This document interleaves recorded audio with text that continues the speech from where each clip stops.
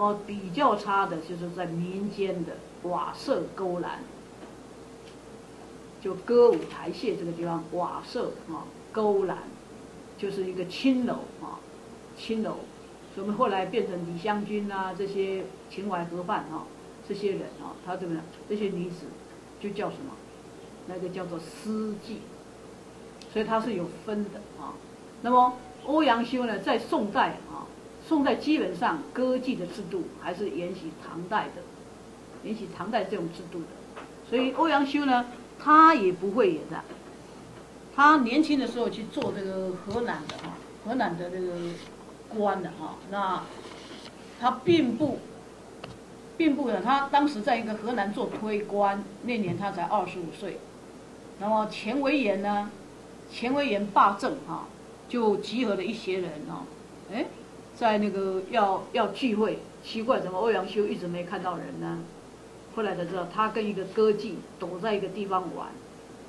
所以后来那个歌妓就姗姗来迟，这个歌妓可见是钱维钱维演家养的家妓，钱维就怪这个歌妓说你在干什么？他说我跟那个欧阳修在一起，然后他就要处罚他啊，然后然后呢就那个金钗他的头上戴的发钗丢掉了，所以钱维演就大怒，本来要责罚这个这个这个歌妓的，后来就说好吧，那你你说你跟欧阳修在一起，除非欧阳修写一个词。的话，我就这样，我就放过你们。后来就当场就写了一首词，哈。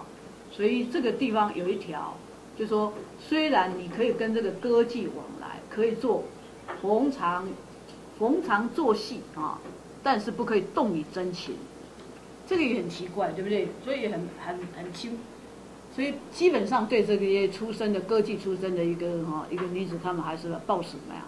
是一个亲妹态度的啊。所以你可以跟他应酬啊，用往来，但是不能动你真情。但是欧阳修呢？欧阳修当时是冒着可能会被处罚，甚至会被罢官的危险，都不避讳他对这些歌妓们的一个真情啊。所以我们可以看出欧阳修非常有个性的地方啊。现在我们来找那个欧阳修有一些是吧？他的啊，他的词啊。呃，我找一首啊，你们一定熟悉的。现在大学可能要请这个同学找给他了啊。有一首你们都知道的，“庭院深深蝶恋花”啊，“庭院深深深几许”。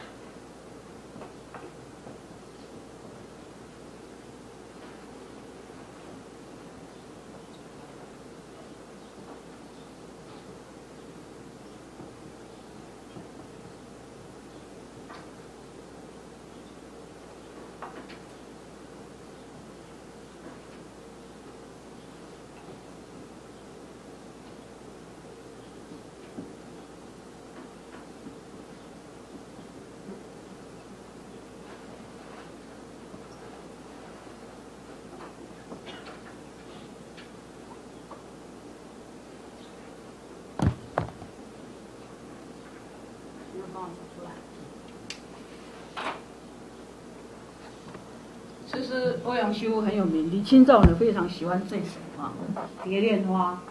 庭院深深深几许李清照说他这三叠字啊深深深几许。所以台湾不是一个作家叫琼瑶嘛是吧？啊琼瑶最爱琼瑶最爱拿这个宋词里面的编剧啊去写他的小说。甚至成为他的电影的那个啊，庭院深深，甚至都有这种歌。庭院深深深几许？杨柳堆烟，帘幕无重树。这个是念树，不是数啊。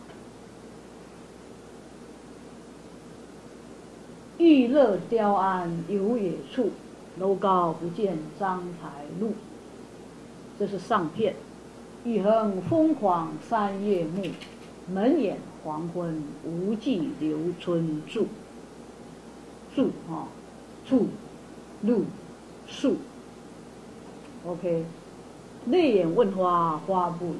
乱红飞过秋千去，那个去念闽南话叫苦，苦要不要？哈苦，所以雾啊，鱼不雾不记哈。OK，好，现在我们看这个，那个庭院深深深几许啊？这里是这里写一个写一个。写一个妇女的，就说对做一个对照啊，写一个上层社会的一个妇女啊，她的一个深深的悲哀。比如说，她生所在，身居在这个人深闺当中，而有一个荒唐的丈夫，一天到晚在外面寻欢游乐啊，痴情的游荡游野处，所以他就把自己想自己深囚在这个深闺当中啊，然后呢？看到一个青春的流逝，然后没有办法啊，一点非常的无奈，掌握不了。所以就说，一个深闺的寂寞妇人，对照着一个在外面游荡走马张台，啊，走马张台，这个那个那个张台是什么呢？张台是《汉书·张长传》的哈，说张常呢在罢朝之后呢，就会走马张台街。也就是说，形容怎么样？章台哈，这条街可能很多的那种章台街啊，所以叫章台柳啊。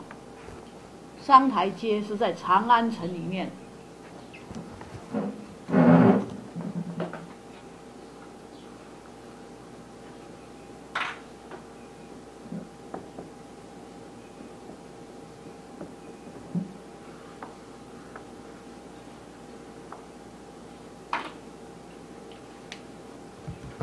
汉书啊，你去找《汉书·张敞传》啊。这个张敞下班之后呢，罢朝之后呢，不回家，不会马上回家，一定要到那个长安街。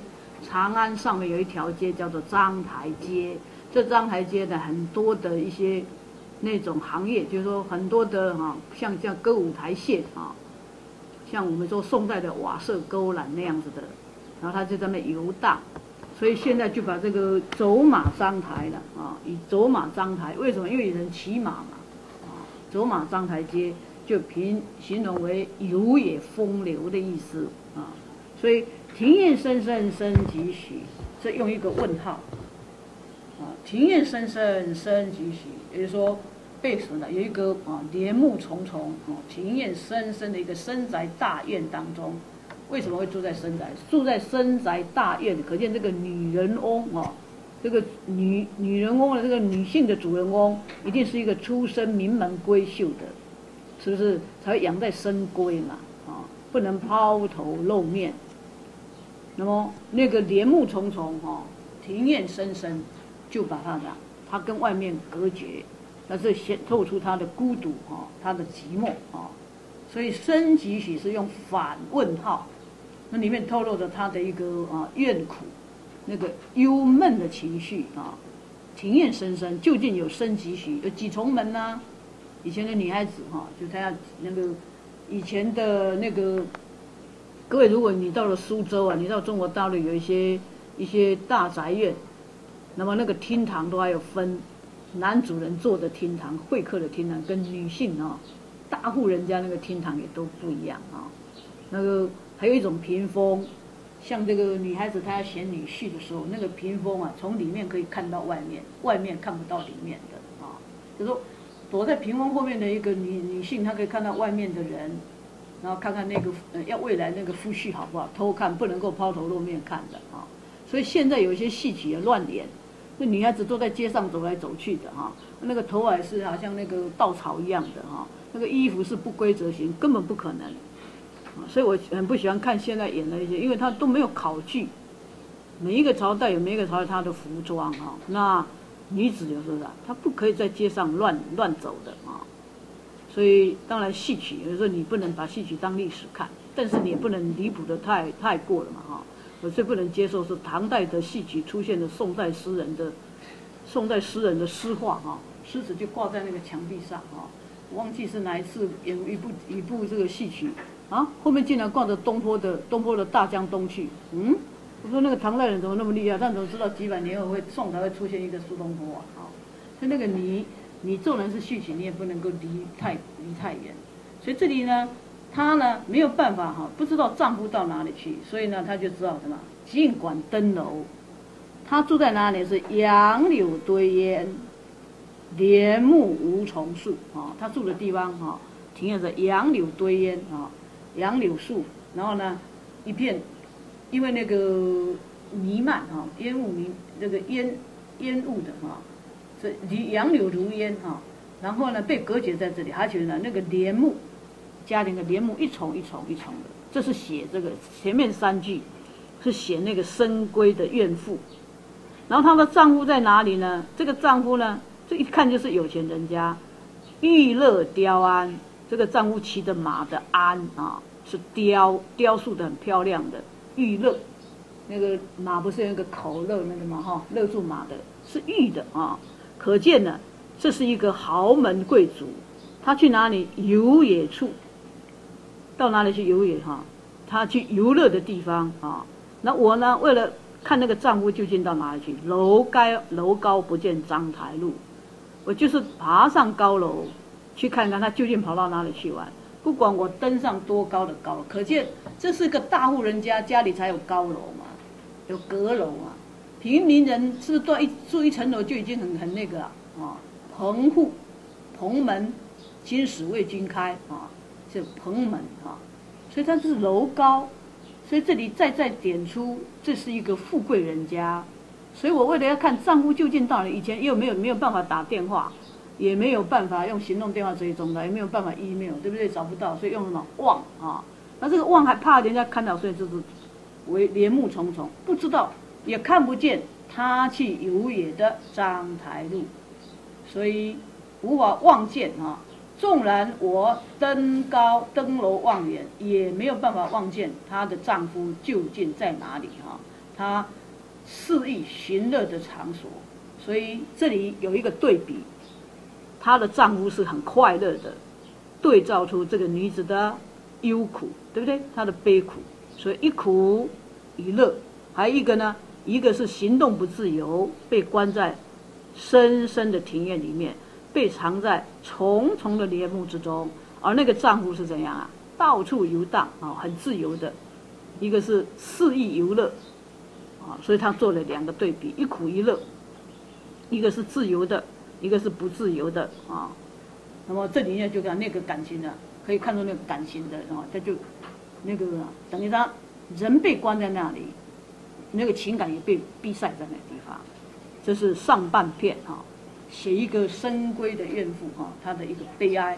下半片呢，是从写这个伤春，然后到自伤，雨恨疯狂三月暮，三月暮就是就是。暮春的春天快过去了，第一个春天快过去了，哦，然后呢，偏偏风雨又好像又好像是故意的，恣意摧残哈，所以雨横啊，风也狂，所以是风雨交加啊，所以三月末就象征春天已过，其实就是我的青春也怎么样？我的青春，女子的青春有限，就像那个三月的春天也过去了，然后呢，又春天快过，花就快要凋谢了，偏偏风雨不加临袭，又怎么样啊？风骤雨狂风的啊，又又把这个风雨花吹的到处到处飘落，那怎么办呢？所以我就这样，所以这个用一个黄昏啊，门掩黄昏，无计留春住，写的多好。门掩黄昏，门门把黄昏关在门外呀，对不对？把黄昏关在门外，但是没有办法把春天留在身边呐。嗯，无计留春住，也没有办法留住春天。换句话说，我想要我想要掌握住人生的青春天，生命的春天，也是很无奈的啊，很无奈的。所以干嘛呢？就泪眼问花，花不语。泪眼，泪眼呢？流着眼泪问花，泪眼就是就是伤春之声啊，伤春注意这个春伤春天的不住，也伤青春的不永恒。问花，花怎么知道呢？花哪里有有情感呢？花怎么跟你对话？所以问花看出感情的痴，感情之真，感情越痴就显出他感情越真。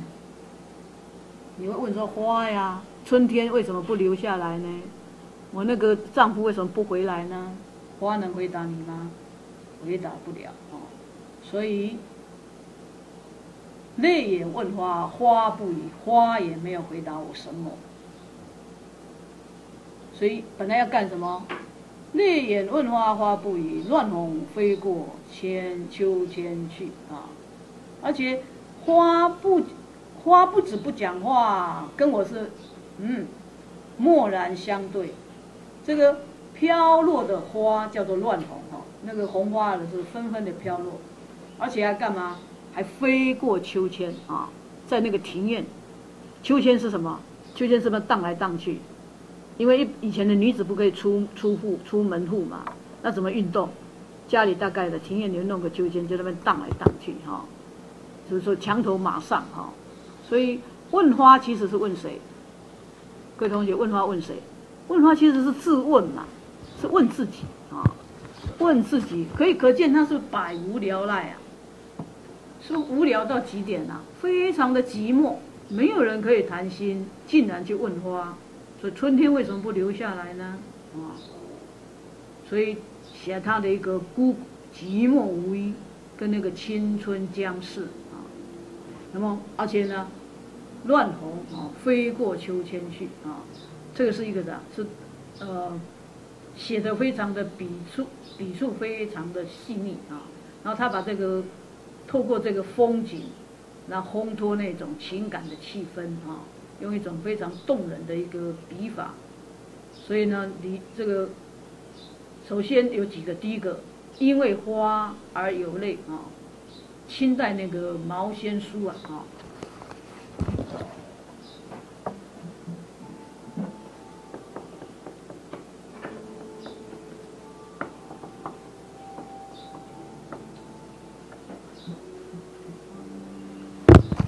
清代有一个有一个清代人的一个词话里面有个毛先书说欧阳修这首诗这首词呢有几层，一层比一层深意。第一层是因花而有泪，所以泪眼啊，因为看到花的飘逝，怎么样啊？看这个啥，雨很疯狂哈，因为花而有泪眼是一层，因为泪而问花又是一层啊，花竟然不讲话又是一层。不但不讲话，而且又乱落，飞过千秋去，又几层，又是一层啊！所以因花而而落泪，是一层，而泪眼。那么问花又是一层，问了花，花又不说，又怎么样？第三层，不说这个花呢，又乱红飞过秋千去，又第四层，一层。所以那个情感就好像越越挖越深刻，好像那个螺旋体，有没有玩过那个螺旋呢？螺旋有没有？我们那个。转那个那个什么东西啊，不是这样一层比一层缩的越来越紧哦，哎，所以那个情感就这样，就就那个非常的深刻嘛，一层比一层深刻啊。那么李清照呢，对这首词的叠字呢，非常的喜欢。他说：“欧阳公哦，欧阳文忠公，欧阳公做这个蝶恋花有深深深几许啊，我酷爱之，我非常喜欢它，所以呢，李清照就用了这个庭院深深啊，自己做的几首几首的词，所以这首词是李清照啊啊，李清照对一些词的一个批评是很严厉的，他非常喜欢欧阳修这个，特别是他的庭院深深啊，身体是叠字，所以。李清照，各位同学们就会举他的词来欣赏，他有的，他有的寻寻觅觅什么的，他喜欢用叠字啊。好，这是他的。那我们看一个大政治家啊，大文学家，一个古文复兴古文运动的，他也可以写出这样非常旖旎、非常有情感、笔端带有极极厚啊、极重情感的词。这是欧阳修的啊，非常有名的。我们休息一下，我要再举他的一首啊，我们就要再讲别的啊，别的诗人的诗。好，欧阳修哈，这里我要教教同学一个常识。欧阳修这两首，这这是他的代表作哈，也是他的名篇之一，《踏梭行》哈。呃，然后同学那天有一天我曾经跟他讲过后面那两句哈，我先来念。后馆残梅，溪桥柳细，草熏，草熏风暖摇征佩。来到这里断，离愁渐远渐无穷，迢迢不断如春水。寸寸柔肠，隐隐分泪。楼高莫近围栏倚，平芜近处是春山。行人更在春山外，啊，OK，这是第一首，呃，另一首还有一个呢，叫做《朝中错》啊，来看这个，叫为什么要举这个《朝中错》呢？《朝中错》呢，举这首可以看出欧阳修的一个人的他的人格特质啊，他可以看出他的豁达，豁达哈，通圆融豁达的地方。我们举出这了解欧欧阳修这个人的性格，一个人格特质啊。平山难难坎啊，倚晴空，山色有无中。手重堂前垂柳，别来几度春风。就是上片啊，因为我们刚好写的这，你们在抄的时候一定要空格。这是上片哈，下片呢，文章太守挥毫万字，一语。千中多豪迈的口气，文章太守啊，挥毫万字，一写起书来，一写什么？如果你写是写一万字以上的，不要你们说老师我论文写三千字可以吗？讨价还价啊！一写写多少？嗯，挥毫万字，一饮千钟，喝起酒来，一饮千钟啊！行乐只需年少，尊前看取衰欧。好，现在同学看，这里有一个常识。我们先看《踏梭行》，喉管后喉后管残梅，溪桥柳细，这上半篇多少字？来看多少字啊？四四有没有？这四字开头啊。下半片寸寸柔肠，隐隐粉泪，有没有？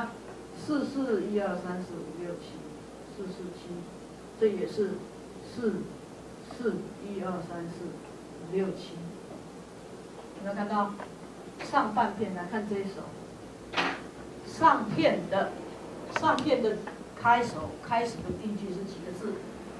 四言的，四言四言七言啊。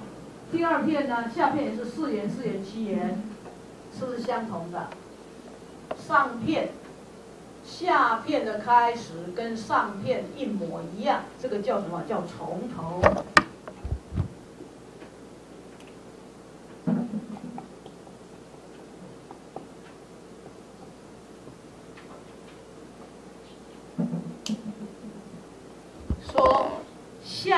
的句法，啊，下片的句法跟上片的句句法是完全一模一样的，叫什么？叫做从头啊。所以我们今天学了一个叫从头。那我们再来看另外这一首《朝中错》。平山难坎啊，平山难坎倚晴空，几言呐？山色有无踪。那么看下片，文章太守挥毫万字，一饮千钟，怎么样？是不是是是是啊？有没有不一样的？所以下片的下片的开始跟上片的开始的句式啊不一样的时候，叫什么头？换头。